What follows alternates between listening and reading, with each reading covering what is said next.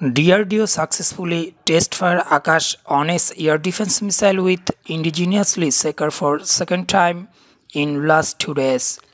Defense Research and Development Organization DRDO on Monday successfully test-fired surface-to-air missile Akash 1S with an indigenous Seeker for the second time in last two days.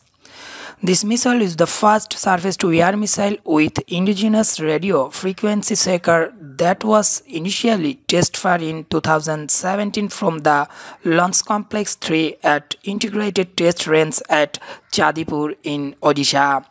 With the successive successes, it achieved the capability of making any type of surface-to-air missile.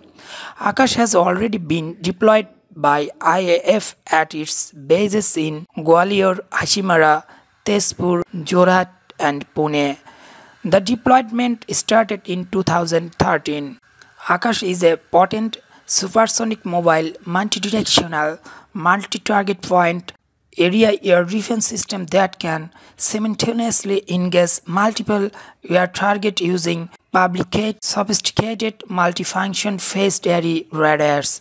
The advanced ECCM electronic counter countermeasures features provide secure communication links with other air defense command and control networks to handle the counter electronic warfare scenario.